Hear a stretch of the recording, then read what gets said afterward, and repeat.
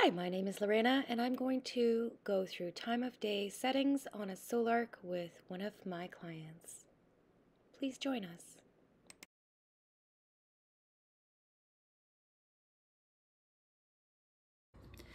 Setting up time of day.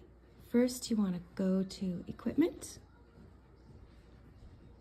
Then you're going to go to the little dots in the corner and you want site uh, setting parameters. And then you want to go to system work mode.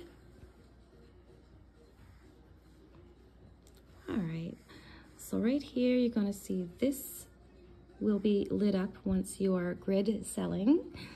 Uh, right now you are limited to load. And then we're going to set up the sell later when the bidirectional is installed. So it's going to tell you what the max power is based on the system that has been identified. You can set time of day for particular days. The charge and sell control, uh, these are just about whether or not you're charging your batteries at a certain time of day. Sell control is whether or not you're selling energy from your batteries at a certain time of day.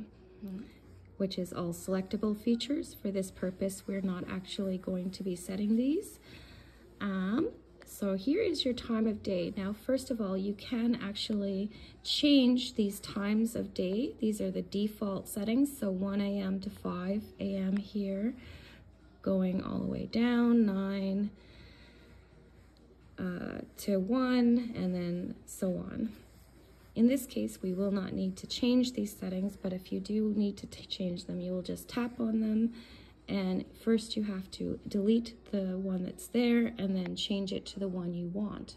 So let's say you wanted it to start right at midnight and go to 5 a.m., for instance.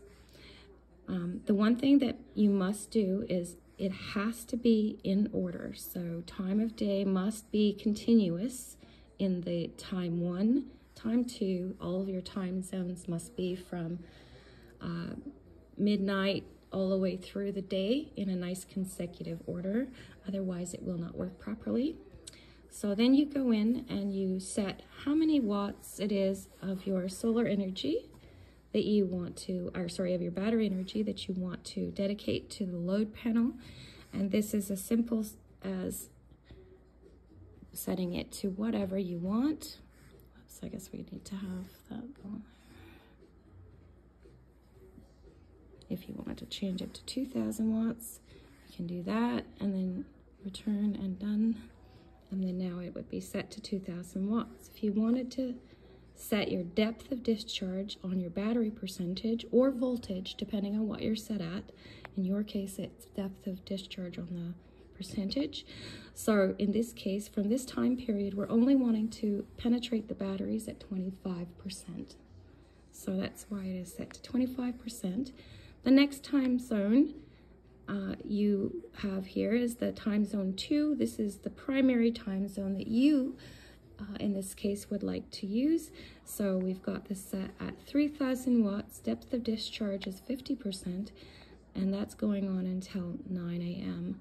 To change your battery SOC, which is your depth of discharge, your total uh, battery, you can simply just do this and change it to whatever you want.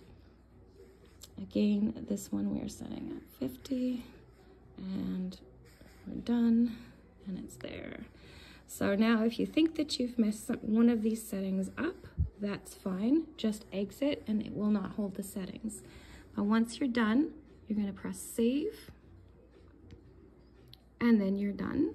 It'll tell you that the command was done successfully and then you can just use the arrow keys to go back to your regular dashboards.